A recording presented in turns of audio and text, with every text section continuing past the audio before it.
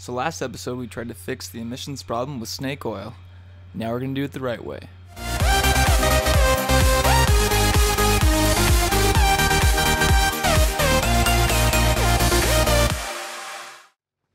So I want to get this diff cover off, um, partially because I've seen a little bit of a drip. That way I'll know I have one less friction component to worry about in the emissions test. Um, I did see that underneath here on the drain there's a drain plug on it. And the drain plug had uh, it looked like somebody just used um, RTV and made a little gasket for it so I'm gonna have to get a gasket for it. Um, but I'll just take this guy out. Just let the fluid drain first. Before you drain your diff make sure that you can loosen the fill plug. These are half inch uh, bolts if you've never worked with gear oil before, heads up is you'll want to wear gloves because this is the most foul smelling car fluids I know of. I had to use a wrench here because I couldn't get the socket all the way around the bolt. The edge was too close to the weld. When I reinstalled, I stacked washers under the bolt head so I could get the socket on and off in the future.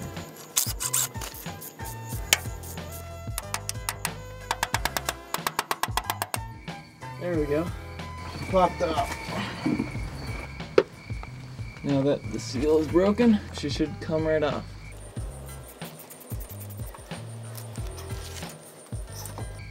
Alright, that feels like steel. Looks okay in there. Also, all the uh, the gasket material stayed on the uh, stayed on the diff cover, which is nice. The teeth look okay. Hard to really tell. Nothing seems crazy back here. That's definitely a Detroit locker. That's good.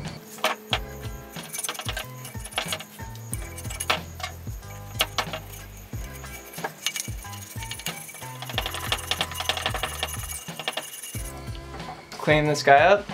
I'm gonna lightly sand the surface, just ever so lightly. Alright, I believe this is 100 grit on um, a Durablock, which I know is quite flat. Alright, now blow it out. Alright, so um, I just cleaned the differential housing. Since I made sure that that is clean, this is ready to go. Um, we're gonna apply this when it's still wet just finger tight so it squishes out. Um, a quarter inch to 16th of an inch bead.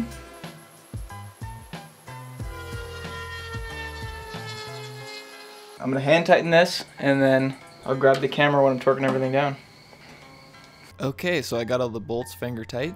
You can see right there that the Permatex is starting to uh, seep out the edges, so I'll tighten her up in an hour. Alright, so now it's been an hour, so I can go ahead and crisscross pattern, tighten these guys down.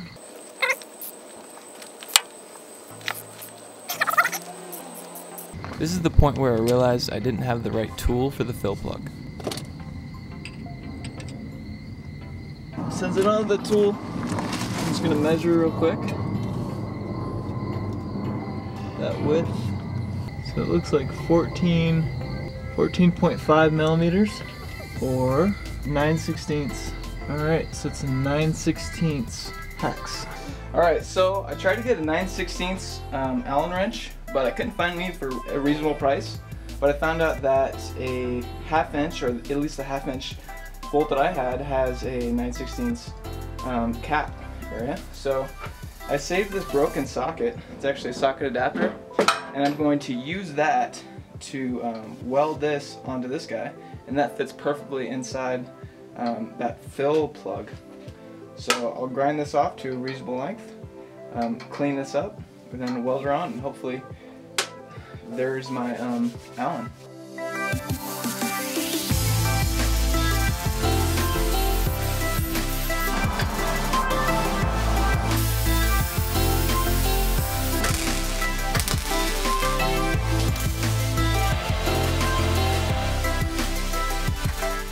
Tried to find an O-ring for the drain plug, but after installing it, I thought about it and it had some problems. The problem with this idea is that it's good that it has a, a lock nut on it because it won't back out and this is a bolt we don't want to back out. But the problem is the gasket would seal on the outside, but then the, the oil might be able to leak in between the threads and then come out through, you know, one of these non-sealed surfaces. So, I'm gonna kind of go back to some other original ideas. After the rubber gasket, I tried nylon washers with a flange bolt. The problem I ran in there was the nylon washers wouldn't stay concentric to the bolt once you tightened it up. Bottom one wants to flare out. Okay, well, yep, I don't like that. All right, so that kind of failed. Um, so now I'm gonna drill 5 16 inch holes. Actually, I'll drill 21 64 inch holes. Three, two, six. That seems pretty good.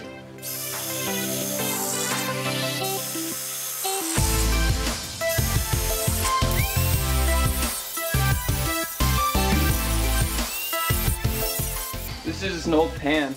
I got actually from Goodwill and used it for um, for motorcycle parts.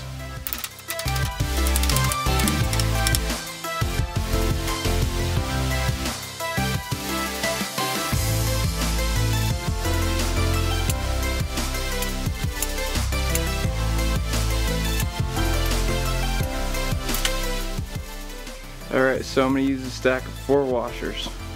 Four custom aluminum washers. See how she works out. Alright, so I think this is finally a solution I can live with. There's still Loctite on that bolt. Hopefully these compress and seal.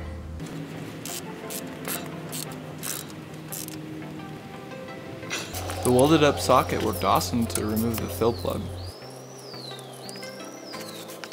Filling the diff without a proper pointed bottle or pump was a terrible process, so I highly recommend getting something rather than duct taping a hose to a funnel. Alright, it's finally full.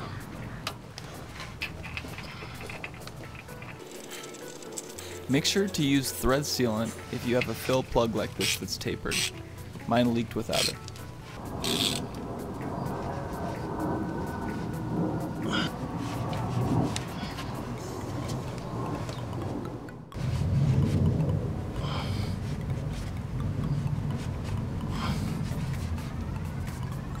Diff cover looks good. Now we can get to changing out the cat. Okay, so so far I have put some PB Blaster On the exhaust manifold collector, and now I'm gonna try to just want to loosen them up. Uh, those camera, that one came right off, so that's a good sign. Okay, so I just want to show you guys how I was kind of choosing where I was gonna make the cut on um, the catalytic converter. So on the tailpipe side, I already have kind of a, a flange on the back side, and I was deciding where to put this guy. And so I was looking where my clearances would be to put, like, screw these flanges together. And it looked like the easiest way to, would actually be when this kind of has an upturn to it. So you can see it's, it's kind of parallel with the ground, mostly here, and it goes up. That way I can um, come from the bottom and get my um, ratchet or you know impact, whatever I need to get. and then on the backside, I still have room for an open end wrench. So yeah, that's the plan.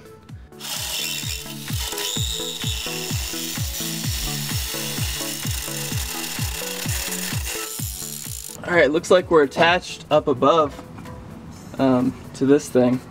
That welded strip was pretty difficult to remove, so I ended up cutting it off and welding the tab so it could be bolted together.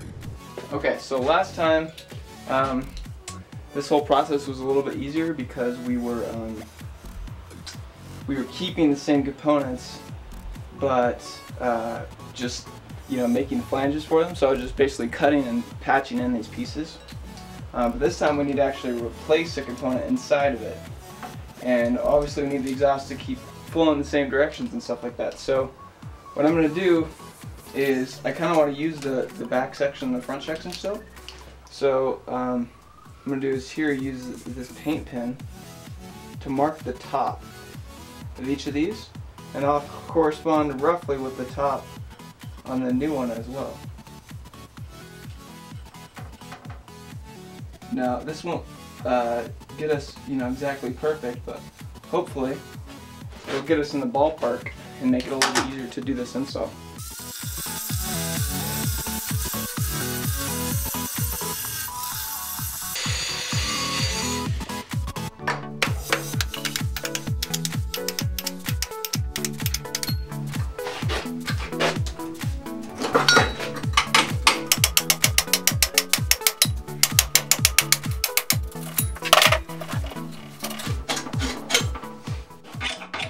They put this little cap on here, but to pass missions, you have to take it off, so.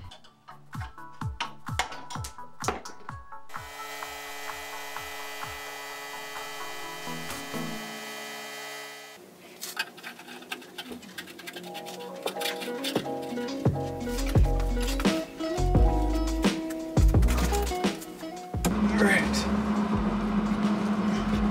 Time to mix some sparks.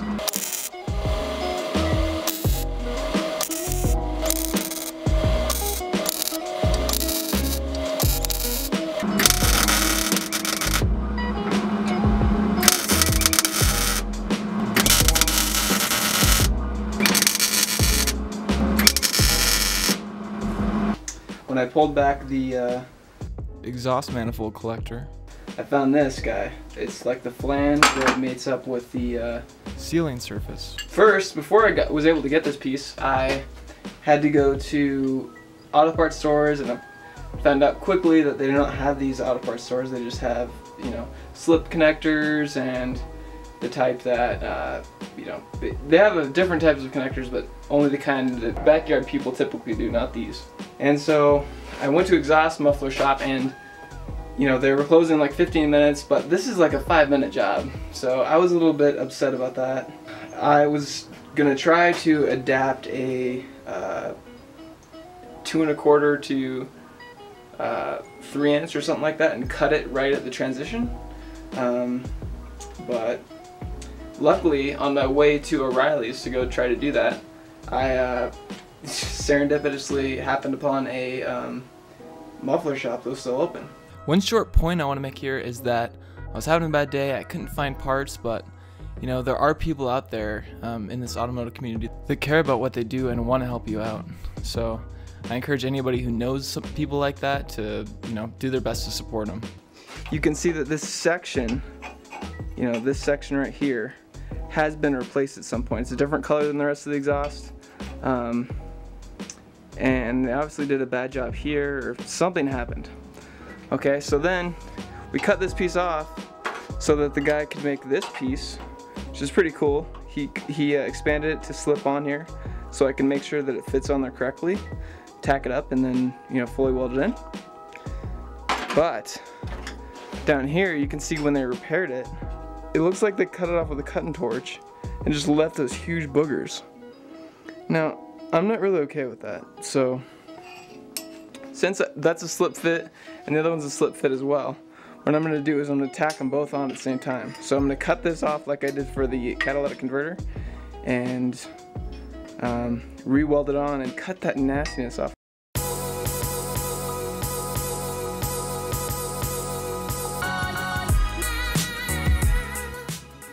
Look at that.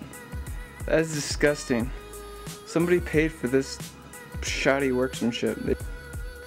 Oh, just like throw that right on top of it. No big deal. All right, so um, I bolted everything up underneath the truck and then I tack welded both this piece and the, the piece I just had made. Um, everything seems to fit up pretty nicely. I do have to actually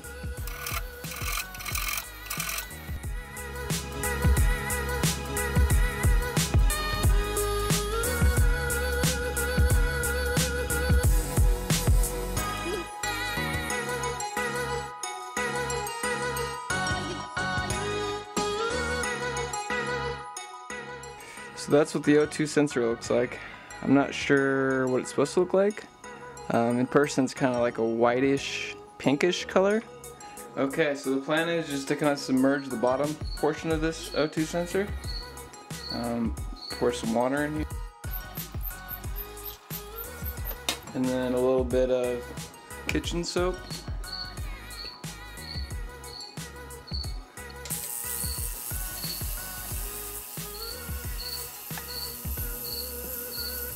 Does seem to be cleaning it. So after this uh, gets done, I'm gonna spray it with uh, alcohol to kind of get it to dry off. All right, so I ran it six minutes after the initial minute and 30 seconds.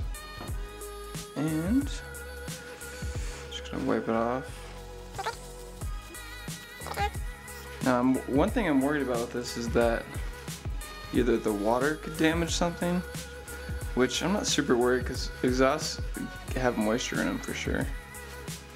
Um, definitely gonna let it dry out. Gonna spray this alcohol on it. It's based off of somebody else's. This is kind of based off of another video I've seen.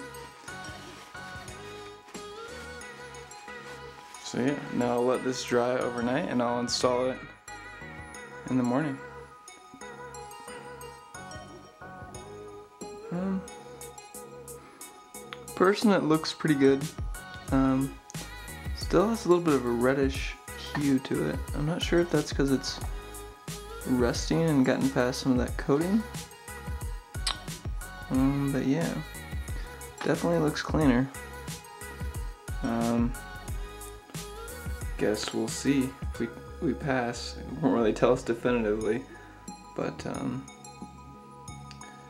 it might tell you whether or not it's a bad idea if it does terrible.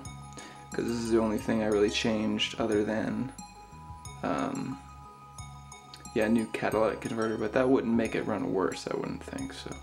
I almost forgot, but one last thing I'm gonna do um, to, you know, get ready for this emissions test is air up these back tires as much as they can go. It looks like it says max load, yeah, 30, 35 psi. It looks like. The noise on this air compressor is pretty unbearable. The main idea behind airing up the tires is to decrease the rolling resistance. So basically, the lower the tire pressure, the more the tire flexes as it rotates. And that's um, causing work on the tire and heating it up and wasted energy. It's like if you have a flat, a close to flat bike tire, it's a lot harder to pedal than a really firm bike tire. Same principle. Seems to be running good.